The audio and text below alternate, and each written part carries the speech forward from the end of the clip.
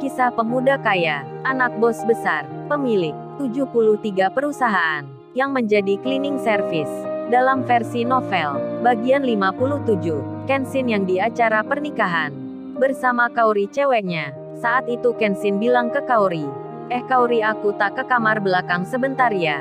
Kamu tunggu di sini. Kaori menjawabnya, dengan mengiyakan. Namun sesaat kemudian, ketika Kenshin kembali, dilihatnya Kaori lagi foto bersama banyak orang.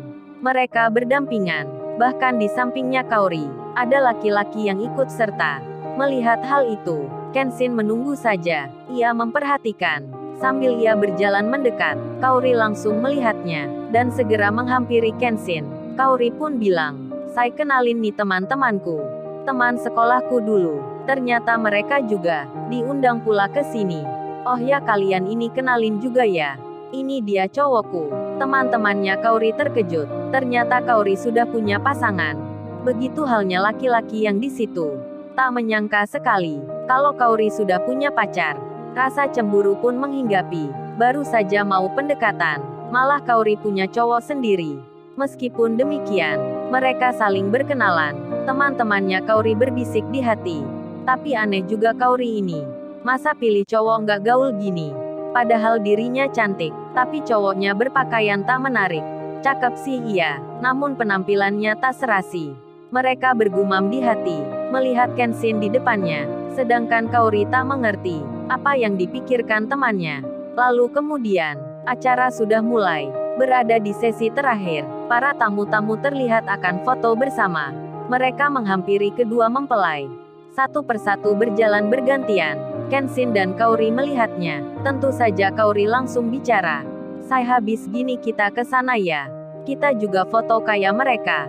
Kenshin menjawabnya. Iya Kaori nggak apa, tapi tunggu belakangan aja. Itu kan masih ramai sekali. Kaori mengiyakan. Setelah beberapa waktu, yang ditunggu pun tiba. Kaori dan Kenshin berjalan ke depan, menuju panggung utama, untuk menghampiri yang punya acara. Ketika sampai hampir mendekat, secara tak diduga, Sirena dan Yudis pun datang. Ingin foto bersama, mereka naik panggung itu. Demikian halnya Kenshin, yang bersama Kaori. Jadinya, antara mereka pun saling melihat.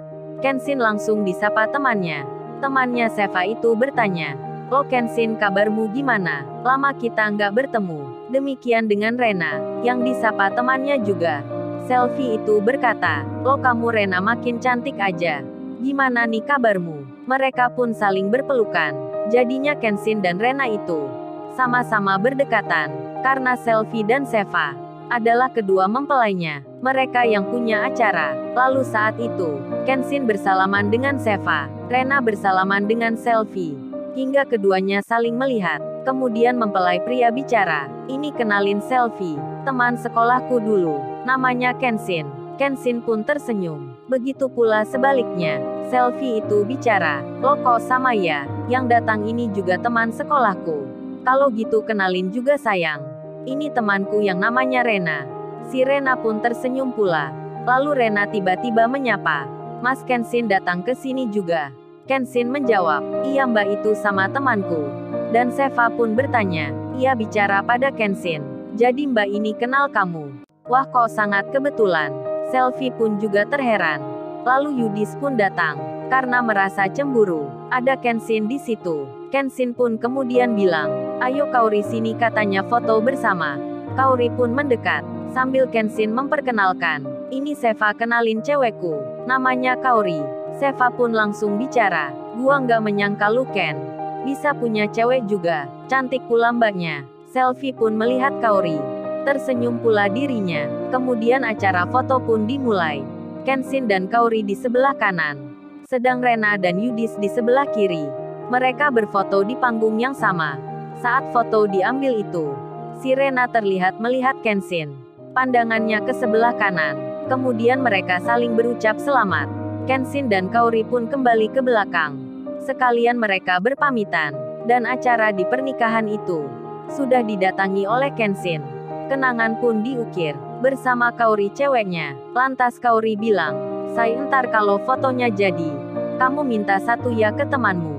Foto kita yang tadi, kayaknya itu bagus sekali. Aku penasaran banget nih. Kenshin menjawab, iya Kauri entar aku bilangkan.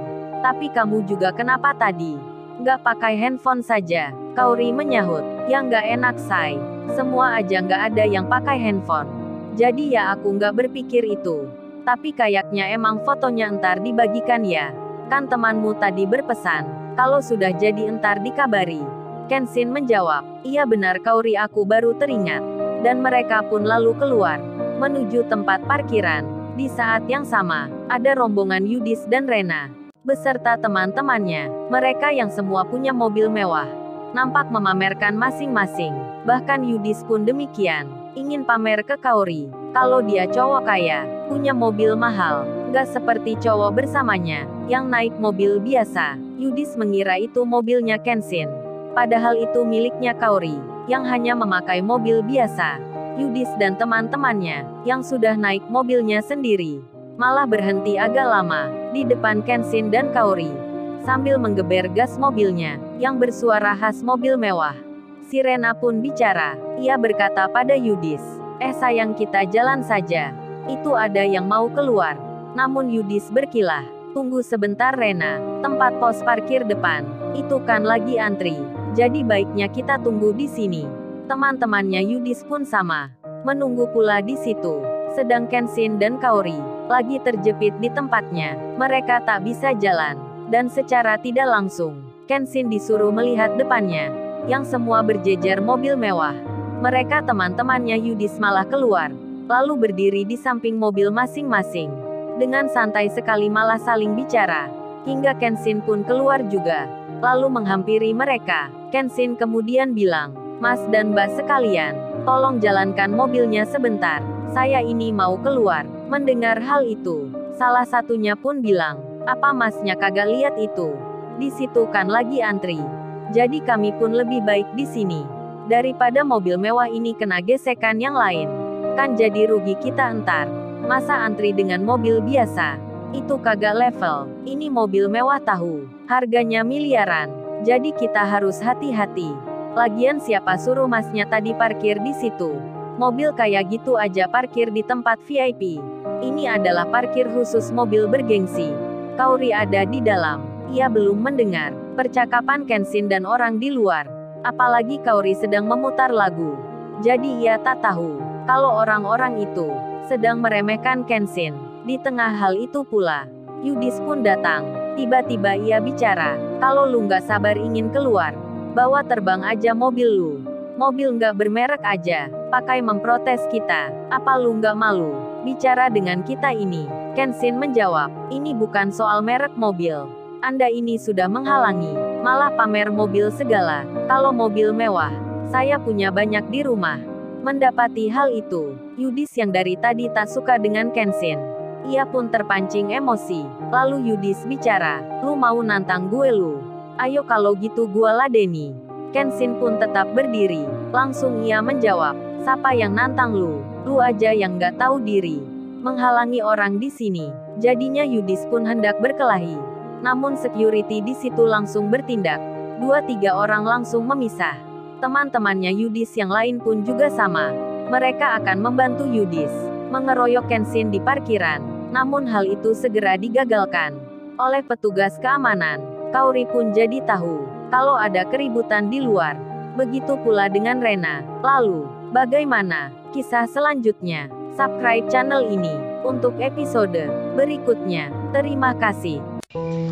Lupa ya guys, untuk kelanjutan ceritanya ada di